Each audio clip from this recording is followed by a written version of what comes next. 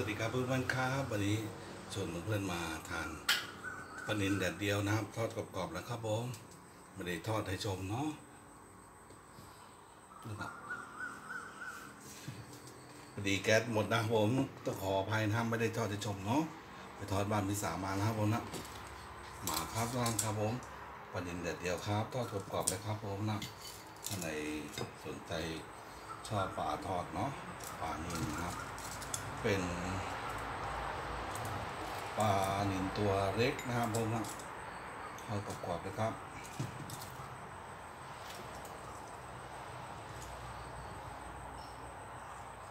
อร่อยเลยครับผมมาครับทุกท่านครับผม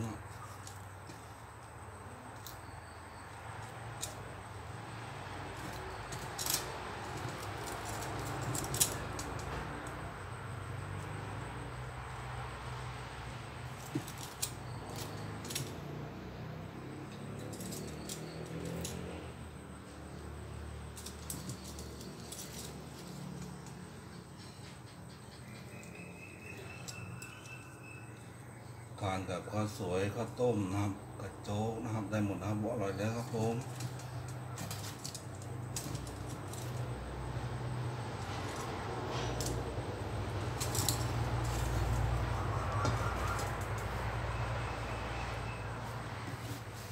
มาครับทุกท่านครับผมนะครับ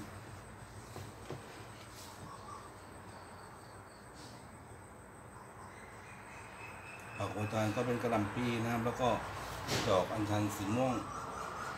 ย่างย่างกระหลำตูมนะครับผมนะ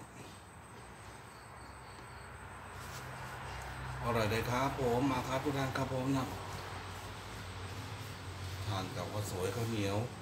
โจ๊กก็ต้มได้หมดนะครับ หรือว่า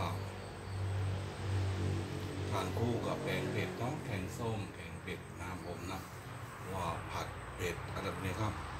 ก็ทานข้าวเปล่าๆก็ได้นะครับผมอร่อยแน่นอนครับเด็กๆชอบเนาะหมูป่าทอดนะครับผมเนาะผู้ใหญ่ก็ชอบนะครับหรือว่าแต่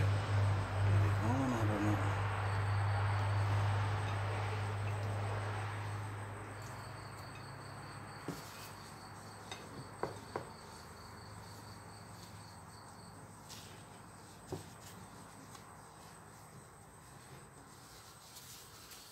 ครับท่านครับผมทานกันครับอร่อยเลยครับผมปลาดินแดดเดียวทอดกรอบๆนะครับผมครับถ้าใดสนใจปลาทอดเชิญครับผมนะ